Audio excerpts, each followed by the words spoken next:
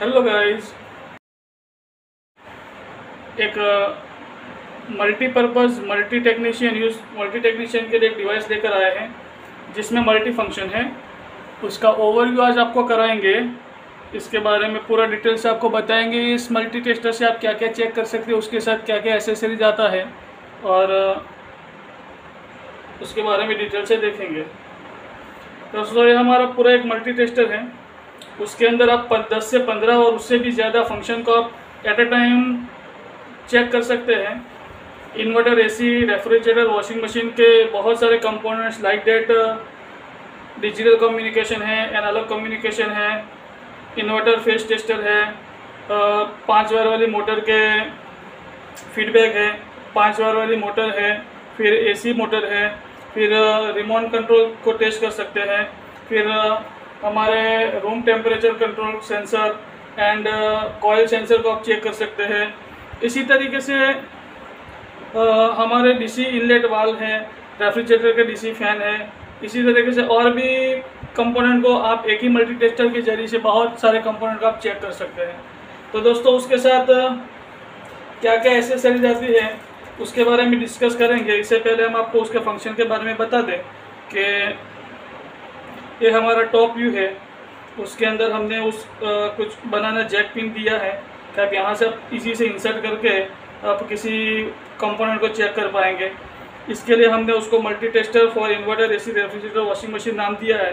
इसका मॉडल है I S A dash double one double two उसमें यहाँ से हम शुरू करेंगे। तो दोस्तों यहाँ पे हमारा A D D F digital data flow meter का पोर्शन है। उसके बाद हमारा बी है। Inverter phase tester inverter motor tester का हमारा पोर्शन है।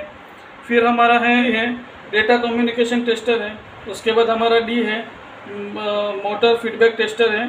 फिर हमारा ई e है डी मोटर टेस्टर का पोर्शन है। उसके बाद हमारा एफ़ है एसी मोटर टेस्टर है। उसके बाद हमारा जी है सेंसर को चेक कर सकते हैं यहाँ से। फिर हमारा मल्टी टेस्टर का फ़ंक्शन है। उसके बाद बीच में हमने रिमोट का रिमोट का फ़ंक्शन दिया है। यहाँ से आप रिमोट को टेस्ट कर पाएँगे। फिर हमारे यहाँ पर ए सी वन का इंडिकेटर एलईडी है। फिर चार्ज के लिए हमने एलईडी डाल रखा है। बैटरी है। तो उसको अब चार्ज करने के लिए अब चार्ज की ज़रूरत पड़ेगी तब ये इंडिकेट करेगा। उसके बाद यहाँ पर हमने बहुत आ, कन, आ, हमने स्विच दिया है सब फ़ंक्शन को ऑन ऑफ़ करने के लिए। तो पर्टिकुलर उसका स्विच के नीचे हमने उसका फ़ंक्शन दे दिया है। उसके बारे में भी आपको समझ में आ जाएगा कि कौन सी कौन सी स्विच किसके पर्पज़ के लिए है और उसके यूज़र मैनुअल में सारा डिटेल से दिया है। फिर हम साइड व्यू और बताएँगे आपको। तो उस पुश टू रिसेट जो पुश स्विच है, वो मल्टी फ़ंक्शन के लिए यूज़ होगा। ये हमने होल दिए है एयर को बाईपास करने के लिए होल दिया है। ये हमारा वार्निंग स्टिकर है। उसके बाद हम फ्रंट व्यू के बैक साइड व्यू में देखेंगे। हमारा एसी इनपुट यहाँ से होगा 220 एसी इनपुट के लिए जैक पिन दिया है। फिर हमारा बैक साइड देखेंगे। बैक साइड में हमने एब्रेविशन ऑफ़ टेस्ट फ़ंक्शन यानी हमने जो यहाँ पर आपको समझाया है टेस्ट फ़ंक्शन उसका जो फुल फॉर्म हमने यहाँ पर मेंशन कर दिया है पूरा डिटेल से। तो आप यहाँ से भी देखकर समझ सकते हैं कि कौन सा फ़ंक्शन किस काम के लिए है। तो ऑलमोस्ट दस से ज़्यादा फ़ंक्शन को, यानी दस से पंद्रह फ़ंक्शन को इसी सिंगल मल्टी टेस्टर से आप उसको चेक कर पाएँगे।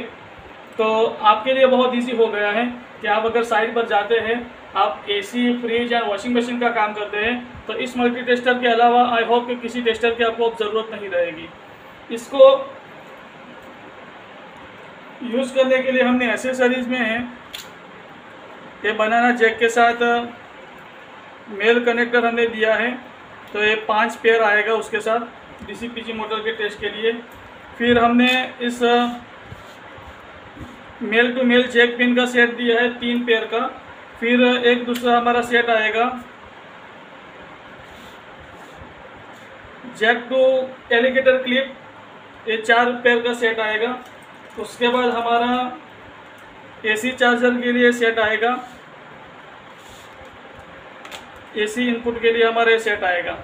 तो ऑलमोस्ट आपको ये पूरा सेट इस मल्टी टेस्टर के साथ अवेलेबल होगा, ठीक है? उसके साथ इन बिल्ड हमारा एक बैटरी रहेगा। वो आप चार्जिंग भी इस केबल के थ्रू कर सकते हैं और चार्जिंग का प्रोसीजर क्या है, वो भी यूज़र मैनुअल में हमने डिटेल से दिया है। तो आई होप कि इस मल्टी टेस्टर को आपको बहुत हेल्पफुल होगा। जब आप साइड पर जाएँगे तो आप किसी भी फ़ंक्शन को टेस्ट करना है। एसी का हो रेफ्रिजरेटर का हो वॉशिंग मशीन का हो, किसी भी फ़ंक्शन को आप इस मल्टी टेस्टर से ऑल इन वन टेस्टर बोल सकते हैं। एक मल्टी टेस्टर से आप यूज़ टेस्ट कर पाएँगे। तो आई होप ये इस मल्टी टेस्टर आपको काफ़ी हेल्पफुल होगा। Thank you very much